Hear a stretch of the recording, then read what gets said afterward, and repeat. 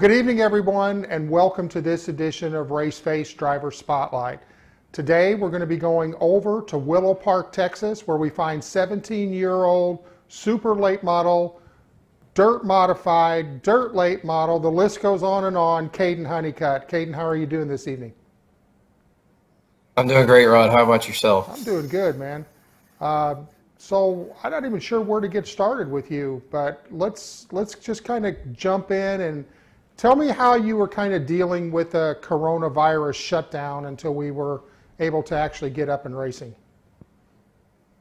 Well, we had a month and a half left of school. Uh, I kind of did uh, school offline, mostly did all the classes uh, online, and that took a little while. But honestly, it was a lot better than being in the classroom, a lot much easier and uh, a lot less stressful. I can actually stay at home, get all my work, work done, then go out and shop and finish all the race cars up.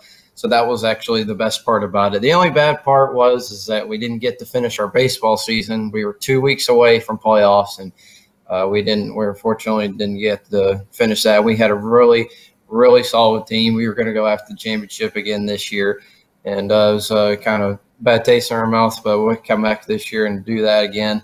Um, but yeah, that's pretty, pretty much school was just offline and online and uh, for a month and a half. But it was a lot better mean, you have to work on race cars all day. So uh, that was the best part about it. Yeah, it's kind of funny talking to the different drivers, the different ages, and you know, of course, the all the female drivers. They were like, "Oh, I really miss going to school and everything. I wasn't a big fan of the virtual uh, side of school." And then the younger drivers were like, "Oh yeah, I miss my friends." But all of you guys that are a little bit older, you're like, "Man, we love the virtual school."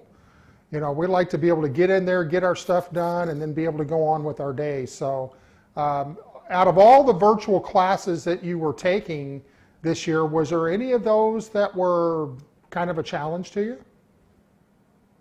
Um, I would say probably geometry was, even though math is probably one of my best subjects. I try to make it to just because of race car wise, you got to learn all the different measurements and different calculations, all the different stuff with data. Um, it's pretty hard without a teacher to, you know, to teach you something that you never really learned before.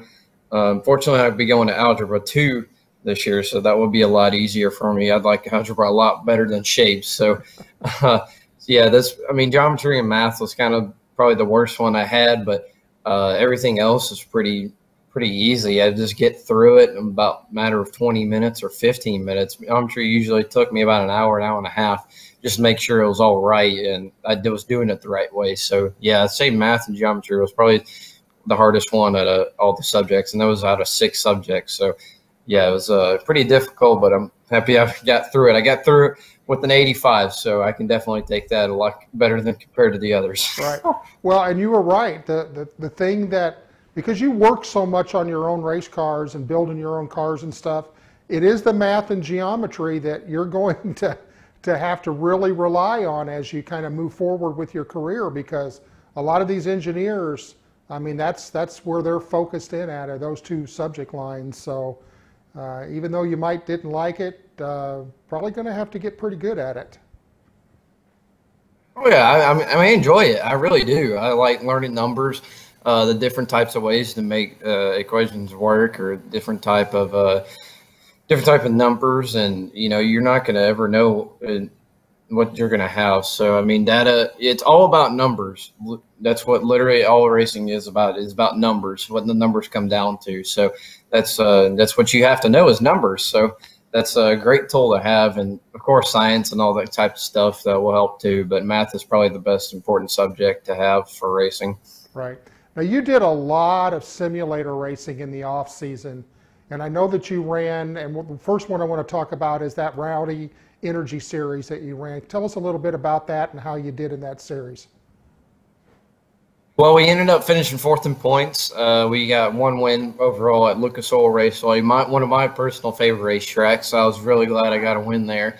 And that series was probably one of the toughest series to ever have. They had a combination of sim racers. Uh, they even had some Coke drivers in it that run professionally in iRacing. So they had really good drivers. Parker Retzloff, who ended up winning the championship. Alex McCollum, who is a real life racer, but he does iRacing a lot, and he's really good.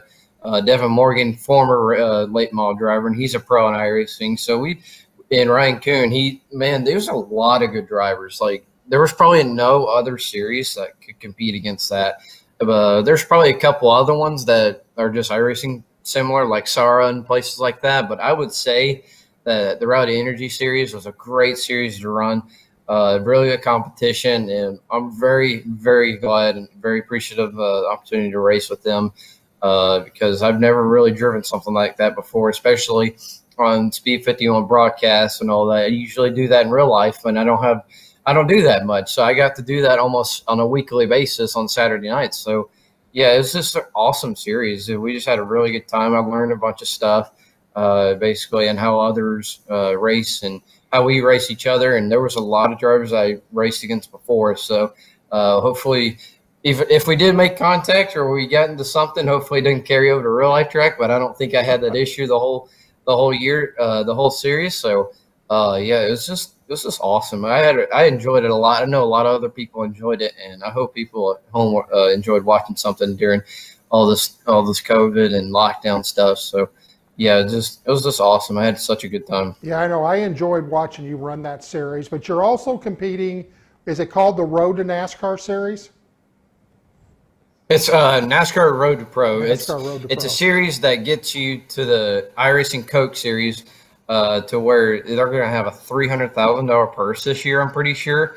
Uh, yeah, and you got to go through a Road to Pro series, top twenty making in points, and you go to a Pro series over the winter time, and that's top 20 in points as well. So they take 40 uh, top 20 in Coke points, top 20 in Pro Series, and those 40 drivers go and compete uh, every two weeks, uh, starting from Daytona in February all the way till uh, September. And then the winner of the Coke Series, uh, I'm, for example, Ryan Luza, who used to be a really, really good race car driver back in uh, a couple years ago. And he gets to uh, go to Homestead for free and get some be in front of a bunch of people at Homestead, which will now be Phoenix this year since everything got changed. you just get free tickets and you get to pre presenting it in front of everybody and see who you are. People might know you if you've raced in the past, so it's it's great stuff. And they also got sponsorships type things uh, for racing, and uh, next year they're going to have forty. All the Cup teams from uh, NASCAR is going to be one of the uh, draft teams for next year instead of a mixture of road racing teams and oval teams. So uh, it's we're going to have front row, Spire, all those cup, uh, cup teams are going to be into uh, esports now. So that's going to be a great thing to see next year. Oh, that's cool. And I'm not, we were talking about math early. $300,000 is a good math number. it's a great math number for us. And we get to see that giant number. We're just like, whoa, that's something that we want to go after. You know, it's just, uh, it's a great stuff. And it's going to get higher and higher. So it's, it's, it's not going to say where it is now. I've heard that it's going to go even more next year. So we'll have to see how that goes. Right. Now, you also competed in the one lap challenge, which I thought was something very, very cool. Hundreds and hundreds of drivers trying for that. It got narrowed down to the top 40, and you made that top 40 list. So tell us a little bit about that lap challenge deal that you did with uh, Landon Cassill, I believe. So Landon used did that back in 2010 for the first time, and then he did it again this year, 10 years later. It it was at Darlington in the Cup car. You get one lap. That's it. You just got one lap. You just can't mess it up. And uh, for, unfortunately, I didn't went out for my lap. But it was going to be a great lap. I thought uh, I was try. I have they have the iris and they got the little tracking number so you can see what uh what you're about to run. So I went in the middle in three and four. I just got in barely a little bit too deep and I barely scraped the fence. And with iRacing, any type of contact on a qualifying lap does not count. Uh, we ended up I don't know where we ended up finishing, but we didn't get a lap in, unfortunately. And there was a lot of good drivers that didn't get a lap in. Um, Eddie Eddie Kerner, the one who won, that was actually my teammate, and he's worked on that almost a week before he uh, they officially announced it that it was going to be happening. So I'm very happy for him. Uh, it was ten thousand dollars, man. There was everybody was on up on their toes and everything. Everybody was nervous. There's not probably not one person that was nervous during that. There's you can't be so uh, yeah, it's just it was just awesome. It was just a great experience to see that. 300 drivers and 40, 40 drivers make it that in the best sim racers in the world. So I'll definitely uh, take the experience and apply it the next time, whenever it comes, hopefully, and the next year or next couple of years, hopefully not another 10 years. So, Yeah, no, yeah, that, that just, was it's uh, just awesome. I just had such a good time. Yeah, that was an awesome deal. I really enjoyed watching it because I thought when I logged on, I thought this is going to be kind of boring. How exciting can it be watching a bunch of guys run one lap? But man, it was just the opposite. It was it was awesome. You did a great job, and and I'm going to tell you what. Even the guys that were announcing that, they were they were basically saying, you know, Kaden Honeycutt's on a lap right here. He's tracking as one of the fastest laps, and and uh, gosh, I mean, you just barely scraped the wall coming out of four, and I, I felt for you, man. I was uh, I, I was watching it and I was pulling for you, but that was a, that was a cool experience. So let's now talk about just real quick. How do you think all of this experience that you're getting on this simulator, because you're so good at it, how is this helping you carry over to the real car? I would say like uh, just the racing perspective of it.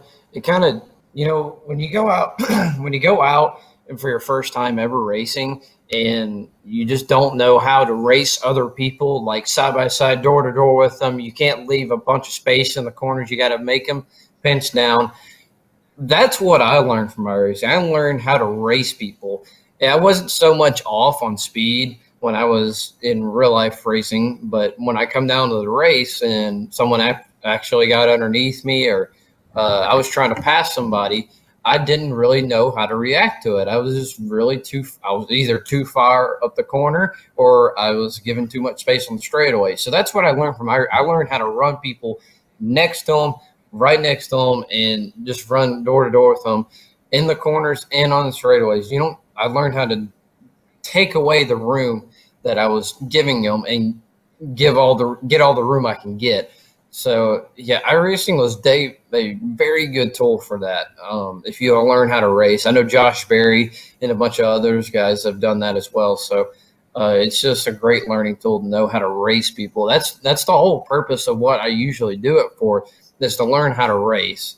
Uh, I kind of have a little bit of trouble that in real life racing just because I don't do that as much in asphalt racing as I do dirt racing because that's kind of different. Dirt racing, you run all different lines, you get room, you don't have to run people all the way next to them. Asphalt racing, you have to pinch or run right next to them every single lap if when you're trying to pass. So uh, iRacing is definitely a great tool how to learn. Uh, great tool to learn for racing people. So Yeah, I hope. yeah, that- it's just it's just a great thing to use. I hope that all you young drivers that are out there watching this episode listens to what he just had to say.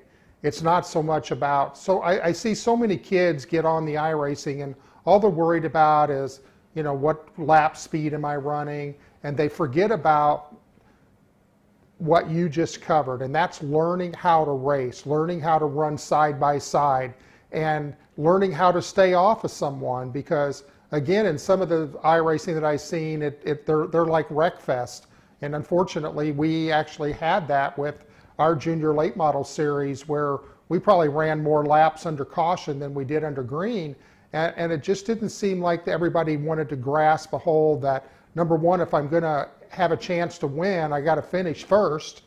Um, and they just uh, they just didn't grab that. All right, so let's uh, let's start talking about the 2020 season, and let's focus a little bit on your super late model first. I know that your goal is to run all the Blizzard Series races as well as the Snowball Derby there at Five Flags Speedway. You've got two Blizzard races um, under your belt already, so let's talk about those and how those went for you. So we started off on Friday. Uh, we started, I think we started 12th, and we ended up running eighth uh, for about halfway through the race, and the alternator went out, drained the battery, and the battery died. and the battery died. And uh, we had a really, I thought we had a really good car. I think we are going to be fine. It just uh, just didn't play out the way that we wanted to. And uh, and Saturday, based on the finish that you had Friday, you started 20, I started 25th, and we were up to we got up to 15th. We were just we were just loose all night after about 30 laps. Uh, we, our short run was pretty good.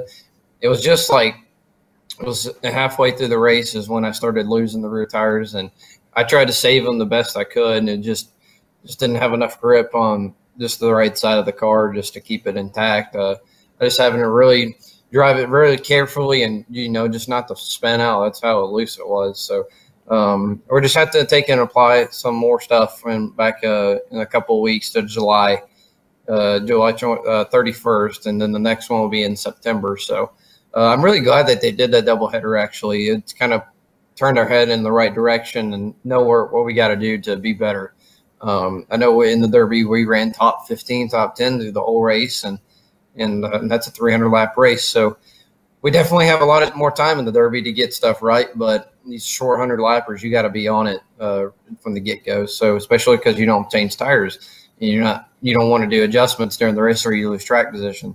And uh, yeah, just it did happen sometimes, but we'll take it and learn uh, and apply to July 31st and see how that goes. Yeah, and there were so many good drivers there. I mean, the competition level was just off the chart.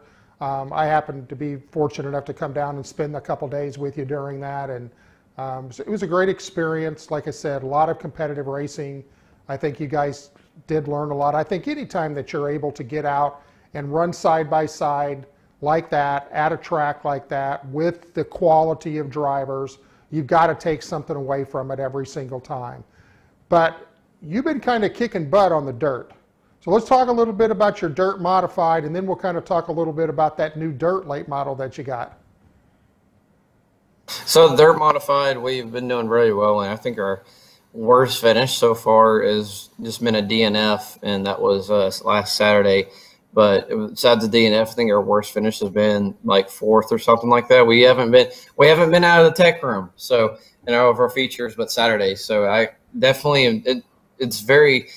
I'm so happy that I can take a different type of race car, a different chassis, not my car, and still run as good as we are in it and uh, it's just not the it's not the car that I've really wanted to run with. But uh, back in my car, our average finish is probably a three or two point five. I mean, that car is on rails, and we'll actually be back in that car this weekend.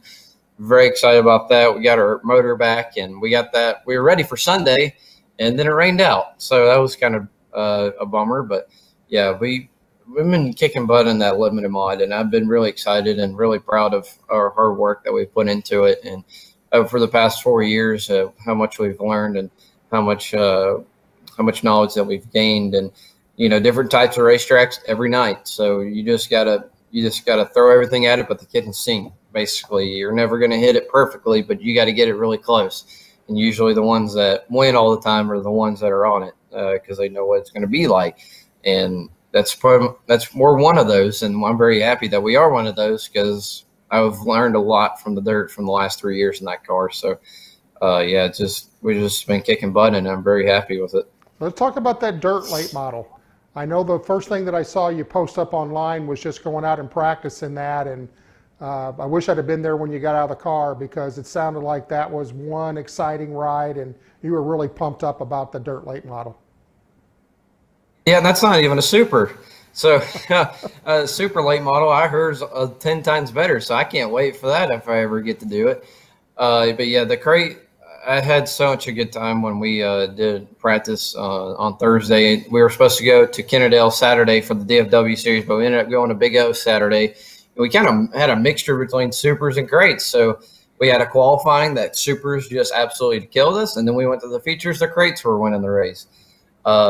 It's just a different type of car. I mean, when you look at when you go and look at the car, it drives the same way that you look at it. You just up on the left rear, just staying in the gas and making a turn. Uh, that's pretty much how I took it. The first lap uh, that I went is when I have I've watched it. You just go off in the corner and let the left rear set and take off.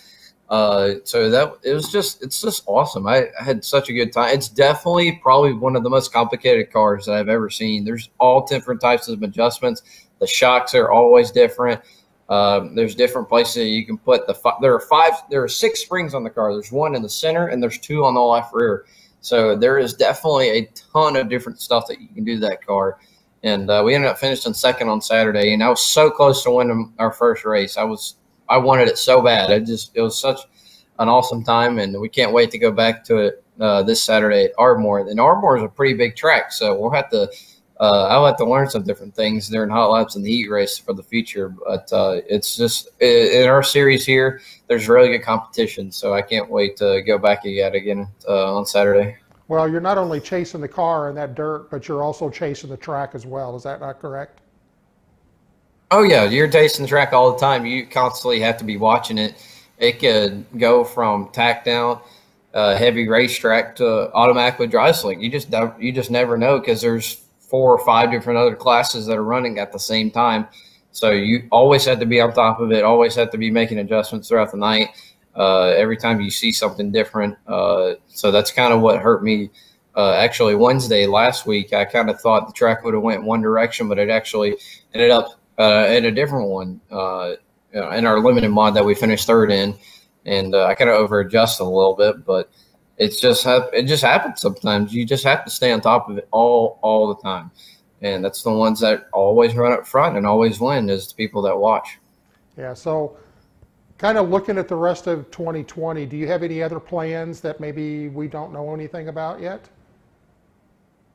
Well, um, not really. I, I mean, the super late model, I want to run all Blizzard races in the snowball but I want to mix in one more in October at Gresham. Uh, I've heard that Gresham is probably one of the coolest tracks that you'll go to, and uh, I would definitely be up for grabs for Gresham if I ever got if we get to. And, and I'm gonna I'm working very hard to try to find uh, Jeff Fultz and Fury Race Cars, and I'm trying to uh, work with him and see if we can work something out to run their house car this year uh, for the rest of the Blizzard races and uh, Snowball and Gresham if we are able to do that. Um, so yeah, I, definitely want to mix in Gresham with all the rest of the Blizzard races and Five Flags and uh, been mod doing dirt mod and uh, crate late mod racing for the rest of the year. Uh, as long as I'm not asphalt racing, I'll be on the dirt. So uh, yeah, there's nothing nothing really changed, but adding one more race in the super late mod schedule that I want to do. But that's about about it. Let's talk a little bit about Kaden off the track. So tell us something that most people wouldn't know about you. We know that you're quite the athlete. Well, you played you played football, do, yeah. you played baseball. Um, you just told me right before the show that you're thinking about running track. But tell us something that maybe most people wouldn't know. Well, uh, the only diff I think the big difference now nowadays is I work on my own stuff. I build my own cars and work on my own setups, and uh, I'm I do iRacing setups uh, mostly off track. Uh, I would say that probably ninety percent of the time that I'm not working on race cars, I'm out at the football field and working out and getting ready for this year uh, with the guys that we worked with uh, last year. We got through one round of the playoffs and we didn't get through any more after that. So we're we're working really hard to get past that first round and get back to the uh, state championship that we want to be in. So I'm either if I'm not working on race cars, I'm going out working out and uh, going with the guys and playing football.